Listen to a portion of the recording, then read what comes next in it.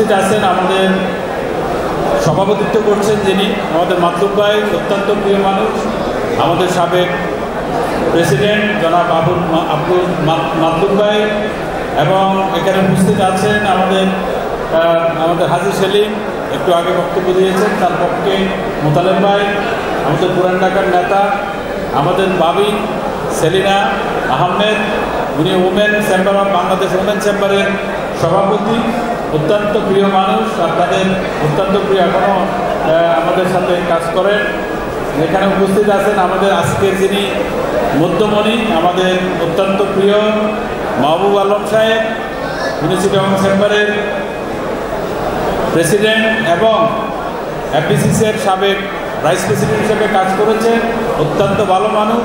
আজকে যিনি আমাদের আগামী এফবিসিসির যিনি সভাপতিত্ব করবেন, ব্যবসায়ীদের নেতৃত্ব দেবেন, সে এবং এখানে সালাম ভাই, আমাদের অত্যন্ত প্রিয় মানুষ, পুরান ঢাকার নেতা এবং আমাদের মুরব্বী, এখানে আমাদের এখানে আছেন আরও অনেক মুরব্বীরা এখানে আছেন। মোহাম্মদ আলী ভাই, যিনি আমাদেরকে দীর্ঘদিন থেকে এফবিসিসির মানুষকে একত্রিত করে রাখছেন সেই মোহাম্মদ আলী রায়, আমাদের সাবেক ফার্স্ট ভাইস প্রেসিডেন্ট এবং আমাদের অনেক নেতৃত্ব, আমার সামনে অনেক পুরানো নেতৃত্ব আছে, আফজাল ভাই বসে আছে। এখানে একটু আগে যারা বক্তব্য দিয়ে গেলেন এফবিসিসির সিনিয়র ভাইস প্রেসিডেন্ট আমাদের, আমার যিনি রানিং ম্যাট হিসেবে কাজ করছেন, বাবু ভাই অত্যন্ত সময় দিয়েছেন আমাকে গত দু বছর এবং আমার সামনে অনেক ব্যবসায়ী নেতৃবৃন্দরা আছেন, আমি আসলে সালমান ভাইকে যখন বললাম যে আমাদের প্রথম মিটিংটা এই আপনাদের পরিস্থিতিটা হওয়া দরকার, তখন উনি বললেন যে পুরান টাকা থেকে শুরু করো। তার মানে হচ্ছে পুরান টাকাকে উনি অত্যন্ত আপনাদের সাথে ওনার অনেক দিনের পুরানো সম্পর্ক এবং আমাদের, আমরা যারা ব্যবসা করি এফবিসিসির সাথে নেতৃত্ব দিই, আমাদেরও শেষ ঠিকানা কিন্তু আমাদের সালমান ভাই।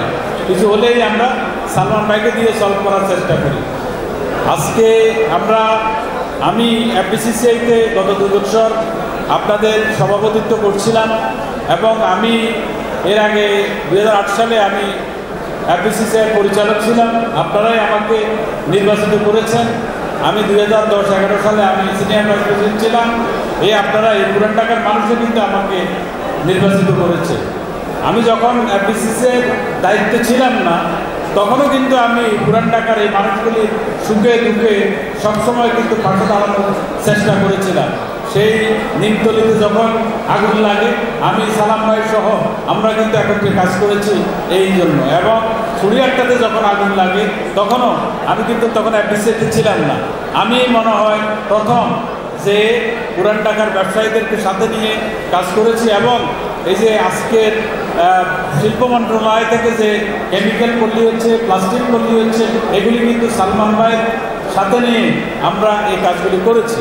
আমি কথাগুলি বলছি এই জন্য যে আমি অনেক দিন আগে থেকে অ্যাপিসিয়ার প্রেসিডেন্ট হওয়ার কথা ছিল, আপনারাই চেয়েছেন, আপনাদের মন খারাপ হতো, যখনই ভোট আসতো, আমি প্রেসিডেন্ট না হলে আপনাদের মন খারাপ হতো। আল্লাহর হুকুম, আমি এই বছর, গত দু বছর আপনাদের দায়িত্ব পালন করেছি। আমার দুর্ভাগ্য, আমি ভোট করতে পারি নাই। এর কারণ ছিল, তখন কোভিডের মধ্যে আমাকে দায়িত্ব নিতে হয়েছে। যার কারণে। আমি মনে করলাম যে, যেহেতু আমি নিজে পারি নাই, আমি অনেক মিটিং সিটিংয়ে বলেছিলাম, যেহেতু আমি নির্বাচন করতে পারি না আমার, কারণ এর আগে দুইবার আমি কিন্তু আপনাদের ভোটে নির্বাচিত হয়ে কিন্তু আমি পরিচালক হয়েছি সিনিয়র ভাইস প্রেসিডেন্ট হয়েছি। তো সুতরাং আমার কাছে আপনারা কিন্তু অনেক মূল্যমানের এই জন্য আমি শুরু থেকেই বলেছি যে এবার আমাদেরকে ইলেকশন করতেই হবে এবং আমরা আজ থেকে প্রায় ছয় মাস আগে আমি আপনার বঙ্গবন্ধু কনভেনশন হল বুকিং করেছি নির্বাচনের জন্য, যেন একত্রিশে জুলাই নির্বাচন হয়। আপনারা জানেন যে আমরা দুই, তিন মাস টাইম এক্সটেনশন করতে হয়েছে। এর কারণ হচ্ছে আমাদের বিজনেস সামিটটা আমরা করেছি, আপনারা জানেন।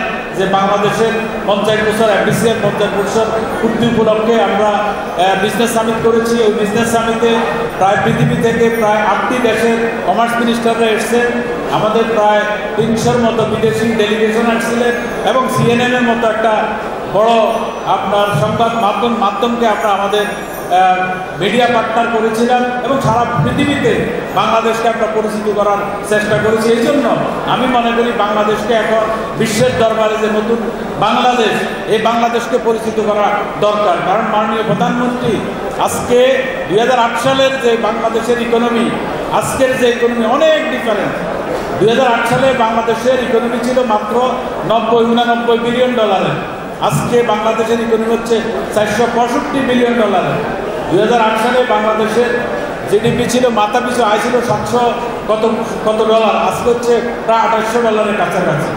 এই যে অবস্থানটা সৃষ্টি হলো, এটি নতুন জিনিস। আমরা এখন বলছি নতুন পৃথিবী, নতুন বাংলাদেশ। বাংলাদেশের সক্ষমতা, বাংলাদেশের যে, এই যে বাংলাদেশ, যে নতুন বাংলাদেশের সৃষ্টি হয়েছে, এই বাংলাদেশে আমি মনে করি বাংলাদেশে ওই রকম এফবিসিসি প্রয়োজন। আমি জানি না, আমার হয়তো ভাগ্য ভালো, আমার কারণে ভাগ্যের কারণে বাংলাদেশের পঞ্চাশ বছর আমি পেয়েছি। বাংলাদেশের পঞ্চাশ বছর উদযাপন। আমি, আমার বোর্ড আমরা পঞ্চাশ বছর পূর্তি উপলক্ষে লাল সবুজের মহোৎসব ষোলো দিনের একটা প্রোগ্রাম করেছি। এফবিসিসিকে বাংলাদেশের মানুষের কাছে আমি চেষ্টা করেছি পরিচিত করার জন্য ওই প্রোগ্রামের মাধ্যমে। সেটিও সম্ভব হয়েছে আমাদের সালমান ভাই পৃষ্ঠপোষকতা ওনার সহায়তার কারণে। আমাদের সামিটটাও কিন্তু আমরা সম্ভব করতে পেরেছি সালমান ভাইয়ের কারণেই আমি আমাদের যারা গত দুই বছর আমার সাথে যারা কাজ করেছে, আমার ভাইস প্রেসিডেন্টরা আমাদের বোর্ডের মেম্বাররা যারা প্রতি প্রতিটি মানুষ চেষ্টা করেছেন সময় দেওয়ার জন্য। আমার গত দুই বছরের অভিজ্ঞতাতে আমি মনে করি কী ধরনের লোক এফবিসিসিআইতে দরকার? আমরা অনেক সুন্দর চেহারার লোক দেখতে পারি, অনেক ভালো ভালো লোক দেখতে পারি, কিন্তু কাজের লোক আপনাকে প্রয়োজন। আপনি দেখেন, পুরান ঢাকাতে যতগুলি ইনসিডেন্ট হয়েছে পুরান ঢাকায় যতগুলি দুর্ঘটনা ঘটেছে, আপনারা কাকে পেয়েছিলেন? কাদেরকে পেয়েছিলেন? আপনারা জানেন। কাদেরকে আপনারা পেয়েছেন? আপনার ব্যাটের প্রবলেম হয়েছে, আপনারা কাকে পেয়েছেন? আপনার যে ধরনের অ্যাসোসিয়েশন সমস্যা হয়েছে, আপনি কাদেরকে পেয়েছেন? আমি অনুরোধ করব, আপনাদেরকে চিহ্নিত করা দরকার। কাদেরকে দিয়ে আপনাদের কাজ হবে? কারণ পুলিশ পরিচালকরা আপনাদের কাজ করবেন, আপনাদের কথা শুনবেন। আপনাদের কথা শুনে অ্যাপিসিতে এসে তারা প্রেসিডেন্টের সাথে, সিনিয়র ভাইস প্রেসিডেন্ট বা ভাইস প্রেসিডেন্টের সাথে কাজ করবেন, আপনাদের কাজ উদ্ধার করে নেবেন। তারা যদি আপনাদের সাথে যোগাযোগে না থাকে, তাহলে কীভাবে আপনারা সে কাজটা করাবেন? তো আমি অনুরোধ করব, আপনারা ইমোশনাল ডিসিশন নেবেন না। আপনারা মনে করেন যারা আপনাদেরকে সঠিক নেতৃত্ব দিতে পারবে, সঠিক কাজ করবে, কারণ আমরা জানেন অনেক লোক কিন্তু অনেক দিন থেকে অফিসেতে আসে বাট তারা কি কাজ করে কিনা? যারা কাজ করে, তাদেরকে বেছে নিতে হবে। আমি মনে করি প্রেসিডেন্ট অধ্যুষিত এই সকল সংগঠন প্রেসিডেন্টের সাথে যারা থাকবে, তারাই কিন্তু কাজ করে নিতে পারবে। তো সুতরাং আমি মনে করি, আগামীতে নেতৃত্ব দিবে আমাদের মাহবুব আলম সাহেব। তার নেতৃত্বে আমরা যারা সাবেক প্রেসিডেন্টরা ওনাকে সিলেক্ট করে দিয়েছেন। আমাদের নিয়ম হচ্ছে সাবেক প্রেসিডেন্টরা যাদেরকে, যাকে সিলেক্ট করেন, আমরা তাকে আমরা সবসময় সাপোর্ট দিই। এবারে আমাদের মাহবুব আলম সাহেবকে পুরানা আমাদের সমস্ত ভাইস আমাদের এক্স প্রেসিডেন্টরা এক সর্বসম্মতিক্রমে তাকে আমরা সমর্থন দিয়েছি। তো সুতরাং আগামী নেতা হচ্ছে মাহবুল আলম সাহেব। তার নেতৃত্বে যে ঐক্য পরিষদ হয়েছে, ওখানে তেত্রিশ জন সিলেক্ট হবে। সেখানে আমরা চেষ্টা করেছি সালমান ভাইয়ের নেতৃত্বে নতুন এবং পুরাতন এবং মহিলাদের মিলিয়ে একটা নতুন আপনার যেন একটা প্যানেল হয়। যে প্যানেলে যারা পুরানো লোক থাকবে, যারা নতুন নেতৃত্ব থাকবে শিক্ষিত মার্জিত যারা ট্রিলিয়ন ডলারের কথা আমরা বলছি, যে আমরা ট্রিলিয়ন ডলারের ইকোনমিতে আমরা যাচ্ছি। তো সুতরাং সেই ট্রিলিয়ন ডলার ইকোনমিকে রিপ্রেজেন্ট করবে। আপনারা জানেন যে সামনের দিকে কিন্তু অনেক কঠিন সময় আসবে। আপনার এলডিসি গ্র্যাজুয়েশনের মতো একটা সময় আসবে, যেখানে আমাদের, আমাদেরকে রিপ্রেজেন্ট করতে হবে। আমাদেরকে মনে করতে হবে, ওখানে আমরা রিসার্চ বেস অ্যাপ্রিসিয়েশন লাগবে। আমাদেরকে ইনোভেশন লাগবে। আমাদেরকে নতুন যে ট্রিলিয়ন ডলার এবং বাংলাদেশ হবে দুই সালে নবমতম, পৃথিবীর নবমতম কনজিউমার মার্কেট সেই জায়গায় আপনাকে যেতে হলে আপনাকে কোথায় যাইতে হবে, কাদেরকে দিয়ে যাবেন? তো সুতরাং ইমোশনাল না হয়ে আমি মনে করি এই প্যানেলকে আপনারা পূর্ণ সমর্থন দিবেন। আমরা, আমি এফবিসিসিআই প্রেসিডেন্ট ছিলাম।